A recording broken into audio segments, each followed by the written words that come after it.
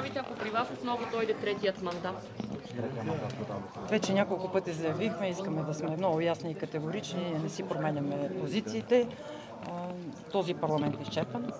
Няма възможност за мнозинство трайно и за правителство, така че ако дойде при нас, ще го върнем веднага.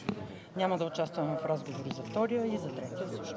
А притеснявате ли в се от едно нови или по-отделно? Ние сме за избори две в едно по няколко причини. Първо, за да не се харчат излишно пари в тази криза за два избора.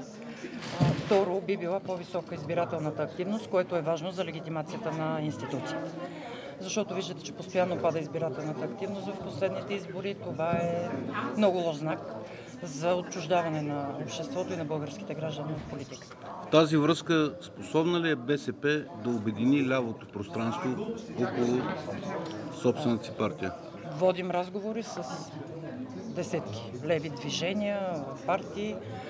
И вчера имахме такова събитие в Пловдив, правим го в цялата страна и може би съвсем скоро ще направим едно голямо национално, ще го видите, ще ви Колко поканим. депутати очаквате при новите избори? Е, не правим такива сметки. А добре, очаквате ли все пак ППДБ да върне изпълнен мандат на президента, да играе както играе и госпожа Габриел? И от тях всичко може да се очаква. Виждате, че много често се сменят мнения и позиции.